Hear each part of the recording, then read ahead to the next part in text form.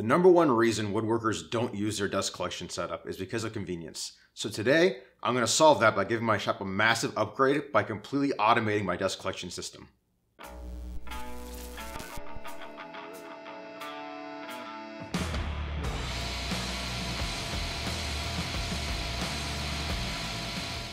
I'm in a lot of different woodworking groups on social media, and I've seen a lot of elaborate dust collection setups, to say the least. However, too often I've seen a comment saying something along the lines of, when I decide to use it, dot dot dot. When asked, it's always the same reason people choose to not use their setups.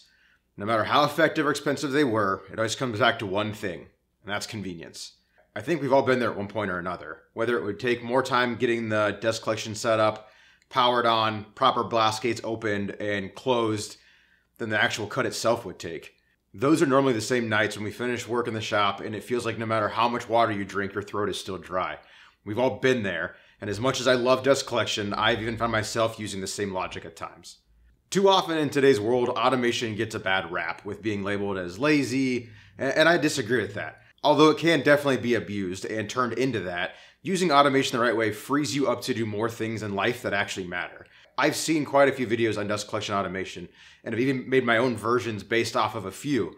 So this solution is a combination of quite a few different ideas other makers have had, such as Bob Clagett's video around detecting voltage using an Arduino and Jeremy Fielding's video around using pneumatic cylinders to open and close the blast gates.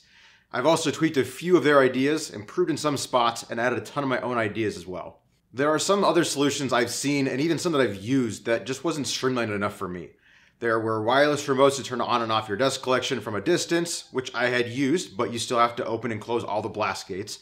I've seen solutions that turn on the dust collection when you open a blast gate, but again, that's still something you have to physically do. And with some of my tools running through multiple gates, since my shop is mobile, that's still more than I wanted to do each time I wanted to use it. I want to start out by saying a lot of this was over my head when I started researching it, and at first glance, it may seem overwhelming at first. However, by the end of the video, my hope is to put your mind at ease and help you make sense of it all. I will start off by showing you an overview of how I am expecting it to work, and then we'll go over each item I used piece by piece as they aren't always the most super common thing in a woodworking shop and might be new to some people. I will preface this by saying I'm no expert at any of this. I'm not an engineer, an electrician, or a programmer and it's all completely self-taught through Google and YouTube. So if I misspeak while trying to explain the setup, I apologize in advance and will leave corrections in the pinned comment below.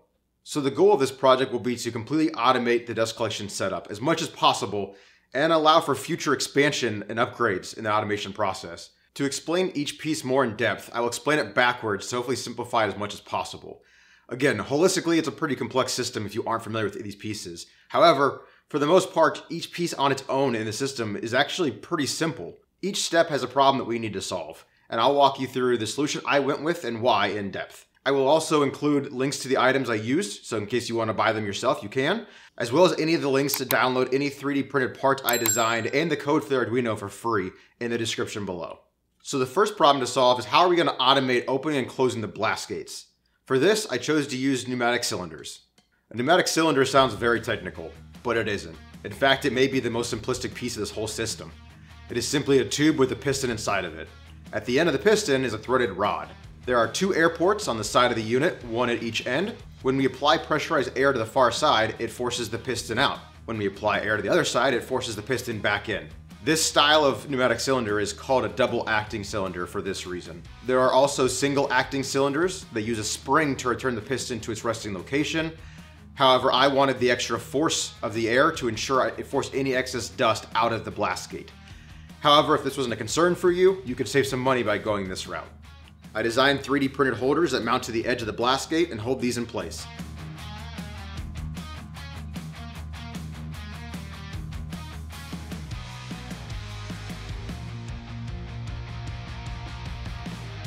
On the end of the threaded rod is another 3D printed part that attaches to the folded part of the gate with two screws.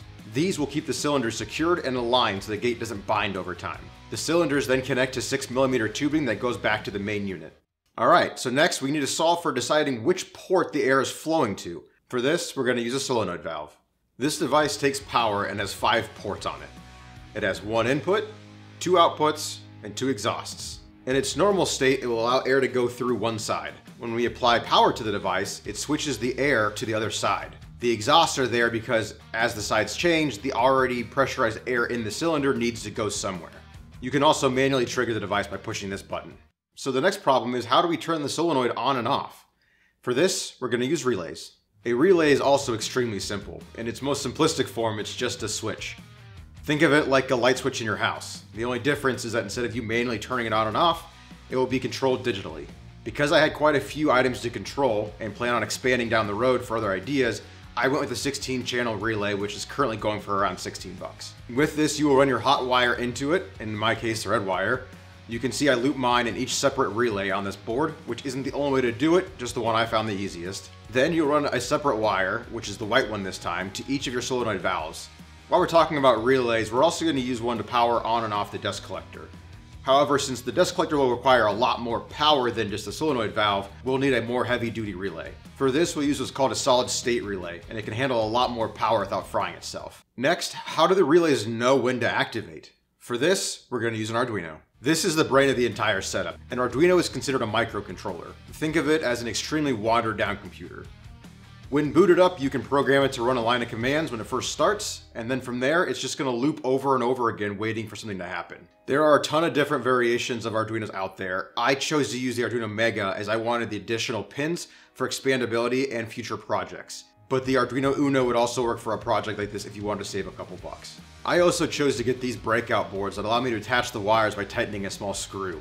This will allow me to avoid soldering to the board, and if I want to expand or make changes later on, I can do so much easier. The coding side of this is the most complex part of the setup. However, for most, if you want to replicate this, you can just tweak my coding to work for you, and you should be good to go. You will need to download their programming environment to a computer, edit anything you want in there, and then connect the Arduino using the USB to send the code to it.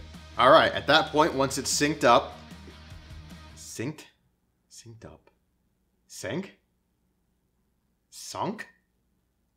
The hell's the past tense of sync? Once you've downloaded the code to the Arduino, it will restart and then you should be good to go. Next, we need to figure out how to detect when a tool is turned on. And for that, we'll use current sensors. These are also very simple. They have five pins. On one side, you have two to split the black wire, just like a relay, and then the other three will be used to send the reading back to the Arduino. Because we are splitting a live wire, we will do so inside the electrical box and wire a plug to an outlet. We will then plug this device into the wall and then the tool we want to monitor into this device. Next, how do we power everything up? For this, I use a 12 volt power supply. The nice thing about all the parts that I chose to use is they're all powered off of 12 volt. This power supply will have a cord wired into it, which will then plug into a normal wall outlet. All the devices then will be hardwired into this power supply. Now that I've explained each piece, let's put this all together and see if we can get it to work the way we want.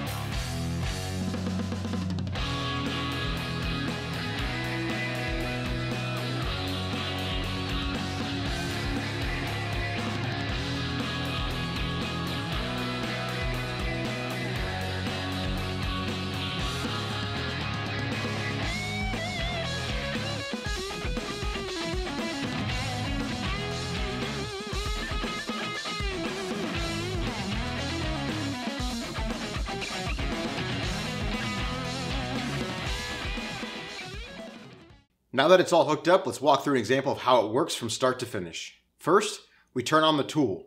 The current sensor then detects a change and sends that back to the Arduino. The Arduino receives a signal, and based on the sensor that it was, it knows in this case that it was the router table. It then sends signals to the proper relays to turn them on or off. The relays then switch over and provide power to both the proper solenoid valves and to the dust collector. The solenoid valves then redirect the air into the pneumatic cylinder, forcing the blast gates to open or close accordingly. Then, when we are done, the process looks like this. From there, we turn off the tool, the current sensor detects a change and sends it back to the Arduino. After 3 seconds, it then powers down the dust collector. After waiting 10 seconds to allow the dust collector to fully stop spinning, the relays then switch back and then cut power to the solenoid valve. The solenoid valve then redirects the air to the other side of the pneumatic cylinder, forcing the blast gates to close. This delay is there to prevent damage to the motor, and if you're using thinner piping for your system, could cause it to collapse on itself.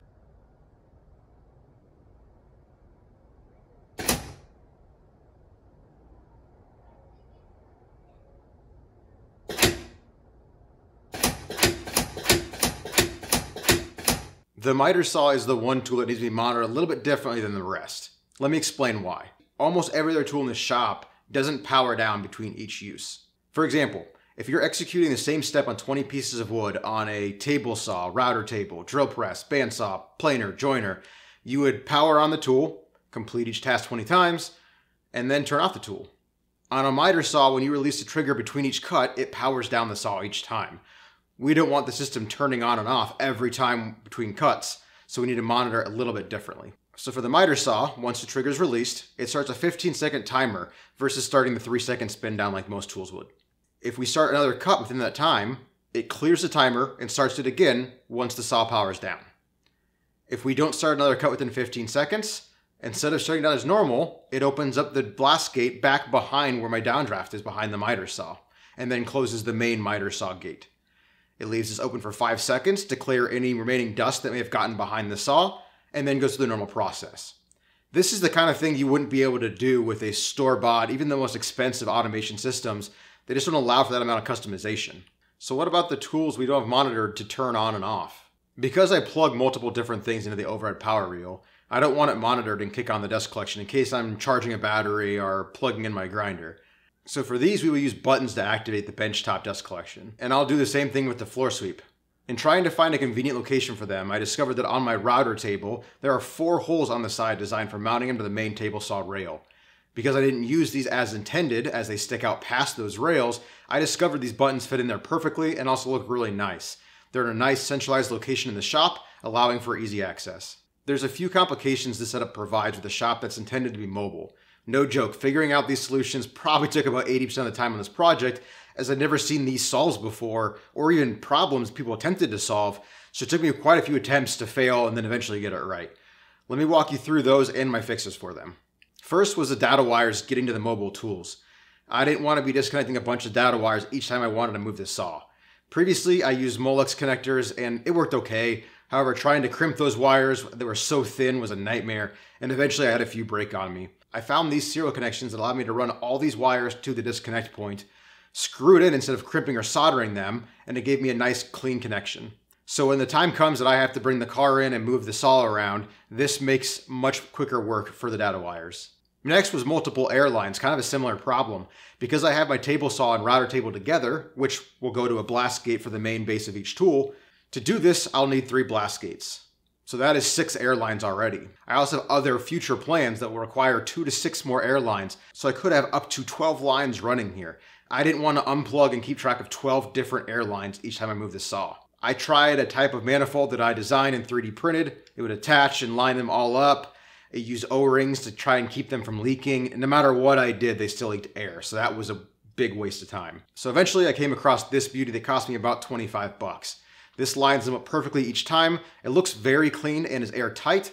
I designed and printed a base for the one side to mount to so it wasn't dragging around on the ground. And it turned out really nice. Now I can reconnect or disconnect these in about 10 seconds, which would have been a nightmare without it. Next, when the table saw and router table aren't hooked up to the main system, it messes with the current sensor reading and it kicks the system on at all times. To eliminate this issue, I printed a magnet port, which also solves connecting the dust hose quickly itself, that has a small micro switch in it. When the hose is hooked up, the system monitors these two tools. When the hose is not hooked up, it ignores them. Simple. Finally, we need to put the finishing touches on this and we can call it done.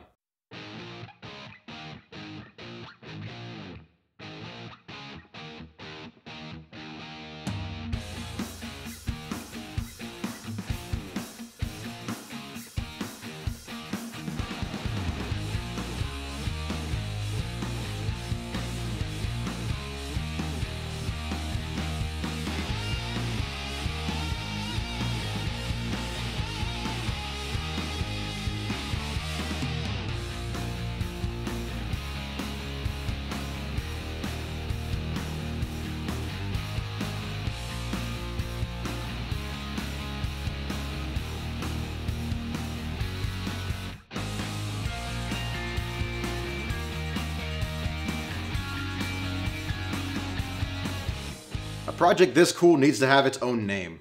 Introducing the Home Automated Dust Extraction System, aka Hades. One of my favorite video games of all time is Horizon Zero Dawn. Please don't sue me.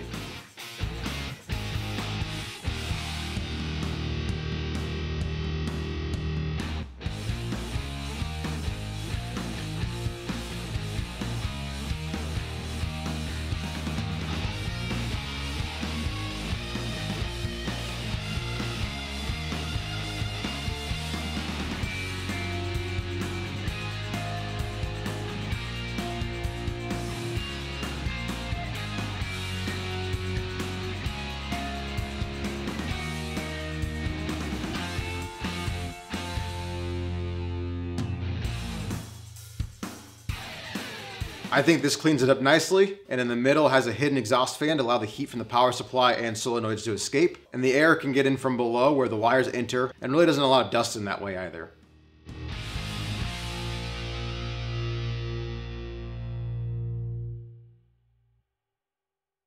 I love where this project is headed and opens up a ton of possibilities for my shop in the future that I'm sure will make it into future videos. I have a lot of ideas where this could go. A couple ideas include maybe using a separate shop vac for things like overarm table sawdust collection or even the router table fence that would use a pipe as its collection bin with a blast gate at the bottom. Then when you are done using the tool, it would empty that dust into the main line, opening the blast gate. Two vacuums, only one bin to empty. Pretty cool. I've also thought about modifying a robot vac that I could tell to run, and upon returning to the dock, it could empty out into the main dust collection bin and this may or may not already be in the works. Is any of this necessary? God, no. It's extreme overkill, and I get that. Yeah, yeah, but your scientists were so preoccupied with whether or not they could, that they didn't stop to think if they should. But regardless of that, what I love about these kinds of projects is learning something new, opening new doors with technology I hadn't really used much before, and what else could be done with it.